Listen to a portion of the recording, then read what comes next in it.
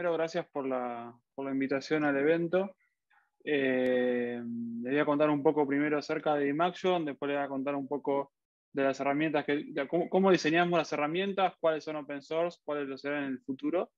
Luego les voy a mostrar una pequeña demostración de cómo implementamos esas herramientas en, proyectos y luego un, un repaso por proyectos de impacto que hemos hecho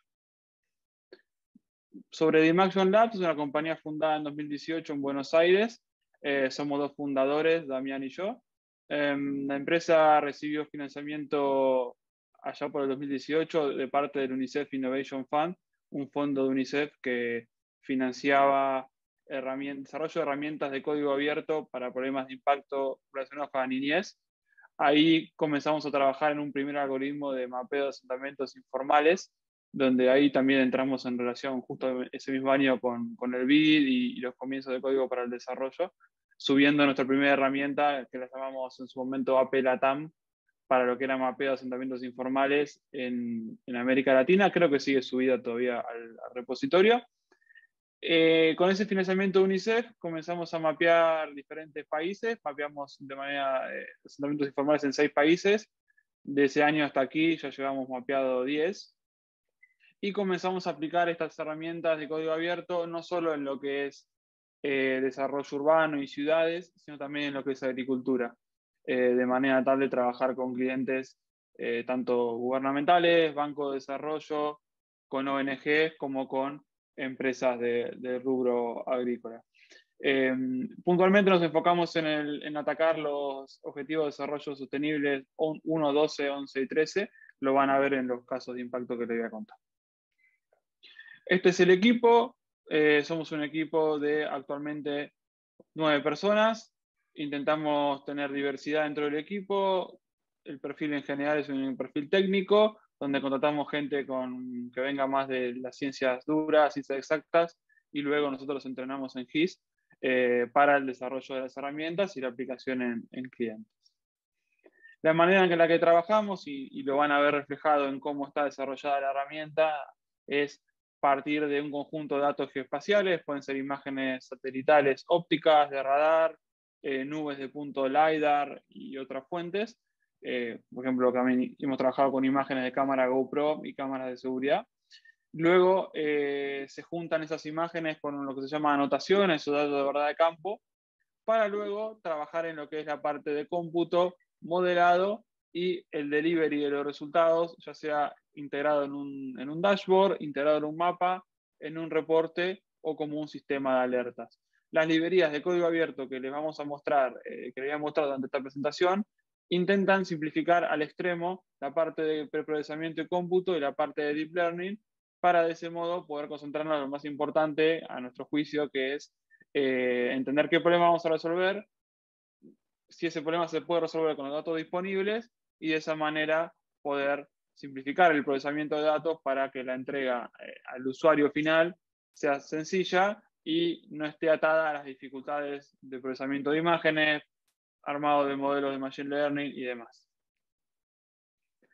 Entonces, la manera que tenemos de trabajar nosotros y, cómo interactuamos con, los clientes, con los proyectos, es básicamente, depende mucho de la tecnificación del cliente en algunos casos, si es un cliente interesado en consumir un mapa, un insight, un reporte en Excel, nosotros tenemos capas precalculadas para lo que es agricultura, capas de áreas sembradas por tipo de cultivo en Sudamérica, asociado a eso el riesgo de inundabilidad y score, eh, digamos, de rendimiento de cultivo asociado a cada tipo de cultivo, soja, maíz, trigo y cebada.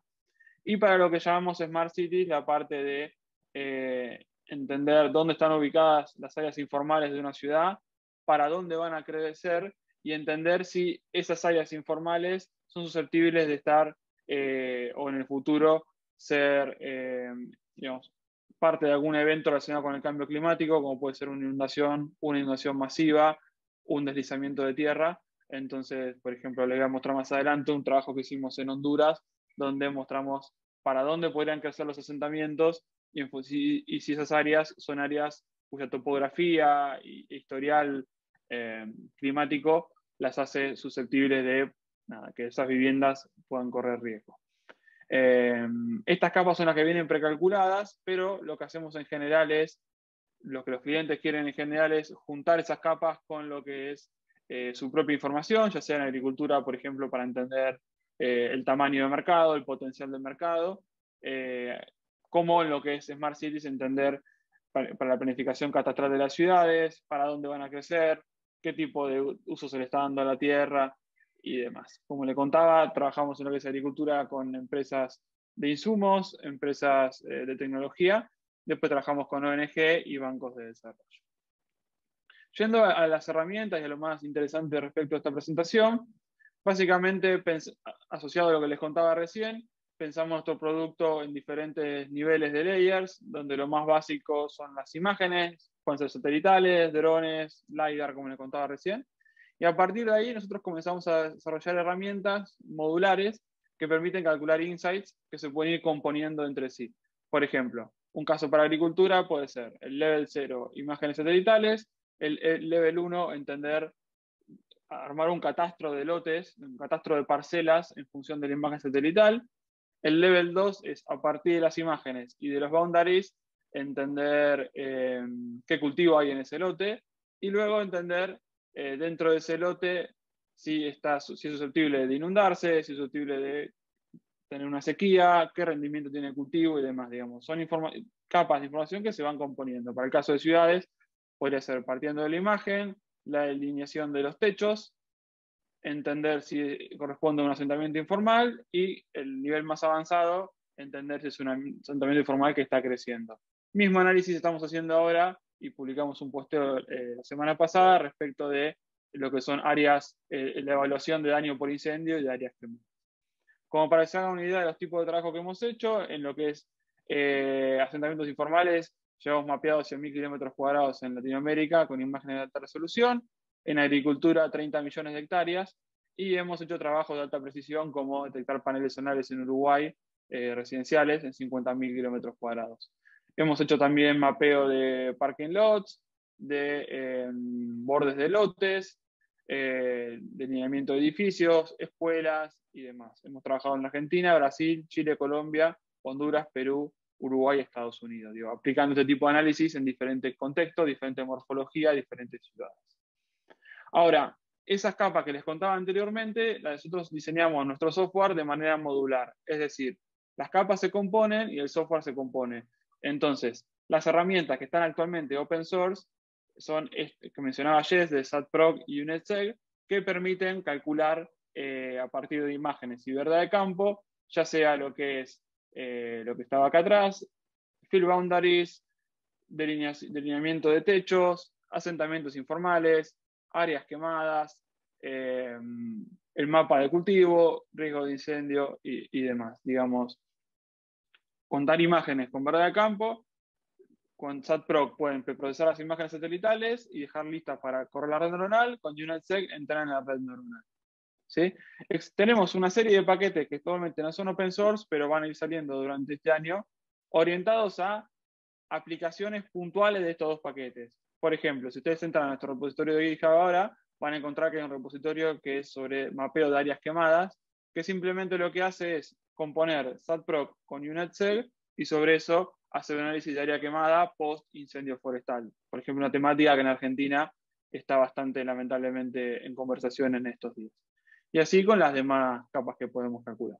A lo que voy con esto es que nuestro producto puede consumirlo tanto un analista GIS o un analista planador urbano que quiera ver un mapa, como un developer que le interese agarrar estas herramientas modulares y poder construir en base a eso. Y ese es el enfoque que, llevamos a cabo. Em, como les contaba, las herramientas que actualmente son de código abierto, están en el repositorio del BIT, son SATPRO y UNetSeg, eh, y planeamos ir durante el año haciendo casos de uso componiendo esas herramientas que sean de código abierto y asimismo que las estén en, la plataforma del BID. Eh, por ejemplo, el mapeo de áreas quemadas lo vamos a subir muy pronto si es que ya no está subido. Em, avanzo un poco, esta es la manera de consumir las herramientas, por ejemplo en un Google Collaboratory ustedes pueden importar otros paquetes y comenzar a trabajar. Dejo acá un link por si quieren acceder, esto es más para el tipo de usuario programador, pero para el usuario analista, como les contaba, pueden entrar directamente a la plataforma Eh, en esta presentación dejo un link para que accedan, donde pueden ver los mismos datos, por ejemplo, de cultivo, eh, usar el código, pero también pueden ver un dashboard con la superficie por departamento, pueden ver un mapa de lo que detectó el algoritmo y también pueden descargarse un report. Como me queda poco tiempo, voy puntualmente a los casos de impacto. Lo primero que quería destacar de los casos de impacto es que lo que nosotros buscamos con el código abierto es bajar el costo de la replicabilidad de estos modelos. Entendemos que la replicabilidad viene dada por tener un equipo de gente capacitada en resolver estos problemas, tener acceso a cómputo, tener los datos y licencia de software. Lo que buscamos nosotros con estas herramientas es remover el costo de la licencia de software, porque el código es abierto, remover el costo o la necesidad de un equipo tecnificado, porque nuestra herramienta está empaquetada para resolver eso, y bajar el tiempo y el gasto en computación, porque son pasibles de correr en la nube, de manera tal de que sea accesible y lista para usar para cualquier organización que no tenga por acceso a un equipo masivo de, computación. Los casos que les contaba anteriormente de impacto vienen relacionados con el mapeo de asentamientos que les contaba que hicimos en, varios países de la región. Este año vamos a mapear Chile y Brasil. Eh, ese análisis que hacemos es comparando, por ejemplo, el costo de hacerlo con imagen de alta resolución versus una imagen satelital pública. Entonces, ahí lo el análisis que hacemos es ok, la precisión del modelo con la imagen de alta resolución es de 95%, pero un vuelo quizás sale 100 mil dólares. En cambio, con la imagen pública baja la precisión, pero el costo es cero. Ofrecemos ese menú de soluciones para que la organización que lo vaya a asumir entienda qué resultado va a tener en función del presupuesto que tiene para gastar y si no tuviera presupuesto lo puede ejecutar lo que ya está disponible y aún así tener una precisión bastante decente. Otros proyectos que hemos hecho es de mapeo de basurales de cielo abierto usando la misma tecnología y los mismos módulos de Python. Acá, por ejemplo, un paper eh, donde detallamos ese uso. Esta herramienta está de código abierto en el repositorio de la Fundación Bungiborn. Pueden acceder ahí mismo al análisis. Y la plataforma Saldoma que hicimos en Perú con la misma idea, pero para mapear minería ilegal usando satélites propios de Perú como el Perusat, pero también satélites públicos como Sentinel. Por último, en Uruguay y en Colombia hemos trabajado en la eh, actualización de catastral, tanto para áreas rurales en Uruguay como para en Colombia en lo que son áreas urbanas, entender el monitoreo de obras y hacer el seguimiento a lo largo del tiempo.